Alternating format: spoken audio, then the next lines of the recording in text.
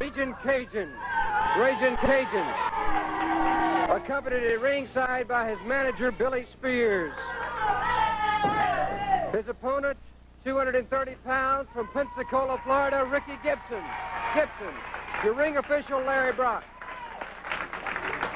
Ricky Gibson starting it off here against the Raging Cajun, and you can see the manager, Billy Spears, in the ring, having a few words to start it off with uh, Ricky Gibson. Gibson said, why don't you sit down in your chair? And uh, let's see, Larry Brock trying to get a little bit of organization going in there. Flip of the uh, wrist to Mr. Cajun, and here's Al Roberts to tell you all about it. Al? Cajun and Ricky Gibson. One fall, 10-minute time limit. Billy Spears, Cajun's manager at ringside in a chair. And you can believe that Ricky Gibson will have an eye on Billy Spears as he tries to handle one of Billy Spears' Cajuns.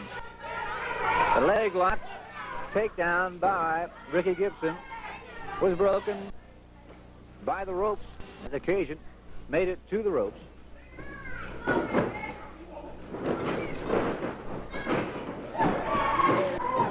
Action in the ring. Ricky Gibson and the Cajun. First action on this edition of Gulf Coast Wrestling. Welcome, everyone. Good card lined up.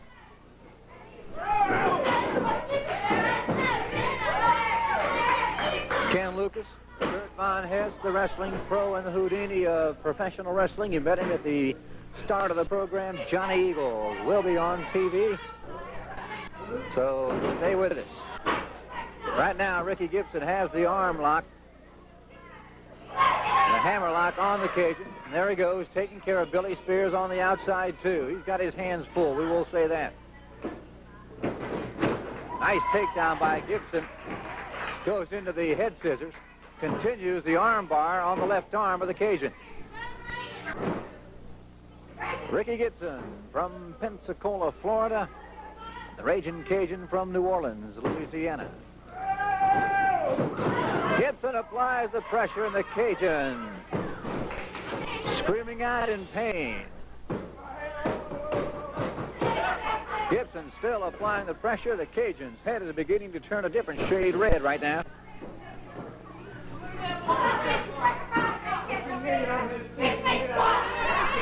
Billy Spears at ringside says, get your knee on his feet. You can get out that way. The Cajun cannot get the leverage he needs. Now he's up, breaks the hole, goes for the headlock, can't quite do it. Gibson slips out, goes into the hammerlock from the front side. Now wraps up in the figure four. Leg drop by the Cajun. Gibson picks him over the top. Good move by Ricky Gibson. The Cajun has had enough for a minute. Steps outside the ring and listens to his manager, Billy Spears, give him a few pointers.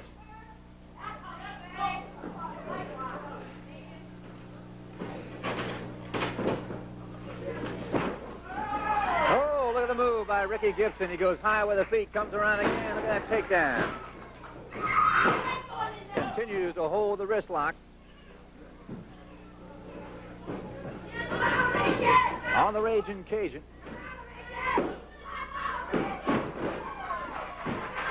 Cajun leaned over, had the count of two on Gibson, but Gibson finally got around and kicked him back.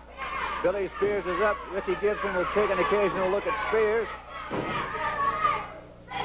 Course, referee Larry Brock has double duty too, trying to watch a match and a man outside the ring. Cajun's up again. The count of one, the count of two. Cajun using the rope full leverage, the count of one, the count of two. Looks up again. Using the ropes again. This time Gibson comes back, kicks him back.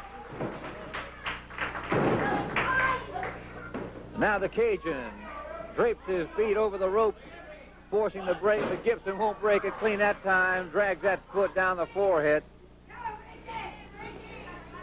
Both of them are up.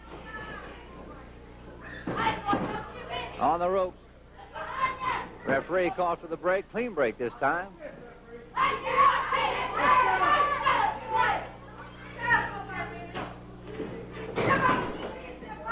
All right, they lock up. Cajun using the hair into the turnbuckle, comes right with a forearm, another forearm, one more time. Then a body toss in the turnbuckle. Gibson hits awful hard. Cajun starting to move on now, has a forearm, one more body toss. Off he comes, back body drop on Ricky Gibson from the Cajun. Cajun on top of the pin, a count of one, that's all.